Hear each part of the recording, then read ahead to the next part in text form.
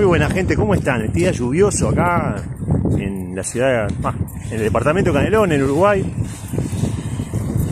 Viento, frío, lluvia, estamos en primavera hace no sé cuántos días ya y no, sin embargo, esto, clima está complicadísimo, ¿no? Realmente. Eh, bueno, no importa, acá me viene toda la onda.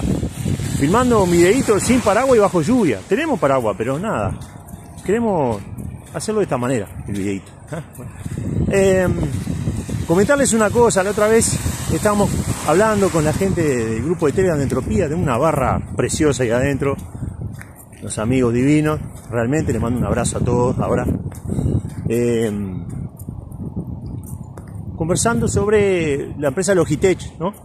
Y uno de los compañeros dijo, al profe no le gusta Logitech, pero no importa, creo que fue Jordi, me parece.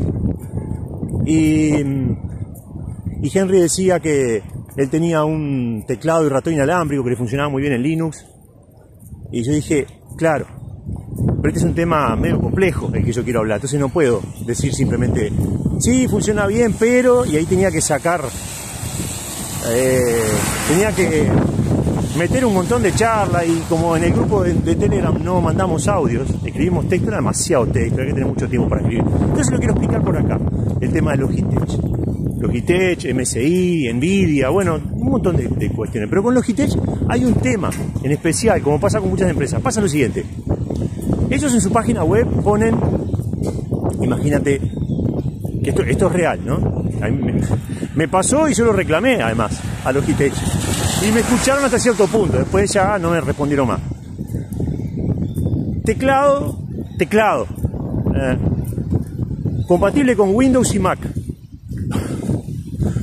Bueno, yo toda la vida compré teclados Logitech, porque me parece que son productos de muy buena calidad. Los teclados de Logitech son probados con, con unos controles eh, de calidad. No sé si los tipos creo que los ponen en una máquina, una vez que están hechos los teclados, los ponen en una máquina que esa máquina les empieza a apretar las teclas un montón de veces y el teclado tiene que responder correctamente. Le tiene que responder correctamente a otra computadora o otra máquina. Cuando una máquina dice apreté la T y la otra máquina dice no recibí la T, ahí es en donde se marca ese teclado con un nivel de calidad determinado. Por ejemplo, soportó 784.000 pulsaciones en la tecla Z. La primera tecla que falla es la primera tecla que se utiliza o es la tecla que se utiliza para establecer el nivel calidad general de todo el teclado, porque si se están apretando todas las teclas a la vez y una falló, quiere decir que a partir de ahí puede fallar cualquier otra, pero que ese es el mínimo aceptable. Entonces, de esa manera, a mí me parece brillante lo que hace Logitech en ese sentido. Me parece una empresa que hace productos de gran calidad. Pero si en la página web te pone que el teclado es compatible con Windows y con Mac, que los parlantes que hace son compatibles con Windows y con Mac, que los ratones que hace, que los escáneres, que todo lo que hace es con Windows y con Mac. Yo en un momento dado les dije, les escribí a Logitech Internacional en inglés. Tengo los mails todavía por ahí, yo siempre guardo esas cosas, pero no es para... Yo para, para publicarlos tengo que tener un problema con la gente. Entonces ahí sí publico todo y ya está. Pero si es simplemente un malentendido, no hago esas cosas. No me gustan esas cosas. Pero tengo los mails. Creo, por ahí. En mi casilla personal. Les escribí diciendo, soy usuario de Linux desde hace muchos años, confío en la tecnología Logitech, funciona muy bien todo en Logitech. He instalado teclados multimedia, incluso con funciones adicionales que las pude hacer funcionar sin ningún problema en Linux. Y no puede ser que pongan compatible con Windows y con Mac. Pongan también con Linux o no pongan nada.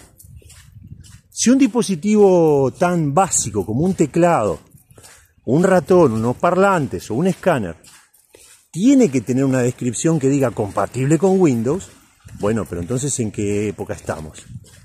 No estamos en los orígenes de la informática. Hoy todo tiene que ser compatible con todo que vos me digas, hay un aparato específico que hace Logitech que es solo pensando en Windows, bueno, no está bien, ergo no me gusta, pero lo puedo entender, porque más o menos funcionan así. Algunos fabricantes de hardware genuflexos, como MSI, por ejemplo. Bueno, y les escribí y me dijeron, sí, lo que pasa es que si usted tiene razón, me dijeron, pero si fuéramos a hacer eso, tendríamos que hacerlo en toda la página web, eh, a nivel global, a nivel general. Tendríamos que cambiar cada uno de los artículos, ¿no? Que, que tenemos escrito ya y ponerle compatible con Linux. Entonces yo le respondí dos cosas. Primero, creo que es lo que deberían haber hecho desde un principio y creo que están en una deuda grande. Porque yo no puedo decir, ah, sí, esto ya lo hice, pero para parar de hacerlo tendría que... Esto es una injusticia, pero para parar de ser injusto tendría que pasar algo que, ay, estoy cansado, no quiero hacerlo. No, tienes que hacerlo. Entonces fue lo que le dije, con buenas palabras, ¿no? Y bueno, a mí me parece que es eh, el deber de una empresa tan importante y tan influyente, y que es el derecho de nosotros que usamos software libre, a que ustedes se expresen correctamente. No pongan solo compatible con Windows y Mac. ¿Por qué Linux no? Si te tomas la molestia de poner Windows y Mac, ¿por qué no pones Linux? A lo que me respondieron, bueno, son criterios comerciales. Entonces yo le respondí, yo trabajo en X cantidad de empresas, compro X cantidad de productos Logitech por año, no solo para mí, sino para las empresas, y eso no te parece un criterio también comercial, que un Linuxero esté comprando cosas Logitech para todos los lugares para donde trabaja, porque cree que lo Logitech es bueno. Entonces siguió la charla hasta que yo le dije, bueno, como, como el tipo me daba vueltas y vueltas y no me ofrecía ninguna solución, le dije, bueno, a partir de ahora, ¿sabes qué voy a hacer? No le voy a recomendar más a la gente Logitech porque yo instalo Linux en todos lados. Y como tu teclado no dice que es compatible con Linux, yo no sé. Si yo le digo al cliente que compre un teclado Logitech y lo pone y no funciona en Linux, entonces yo no puedo reclamarle a nadie porque el error es mío. Por lo tanto, a partir de ahora voy a recomendar cualquier otra marca menos Logitech. ¿Qué te parece? No me contestaron más. Es mentira. Está bueno Logitech. Está bárbaro. Yo sí puedo, zafo de Logitech. Si tengo un teclado Logitech y un teclado de otro tipo que es tan bueno como ese, prefiero el otro.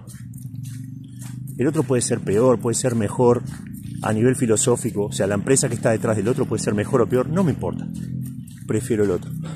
¿Está? Esa es la cuestión con Logitech. No son malos productos. Para nada. Yo lo vuelvo a repetir. Son buenísimos los productos. Pero es una mala filosofía, una mala cabeza. Y nosotros Linuxeros que estamos acostumbrados a pelear contra todo ese tipo de cosas, bueno, ¿qué nos cuesta? Tenés un Logitech, tenés otro, compra otro. No, digo yo. Bueno, un abrazo grande, vamos arriba.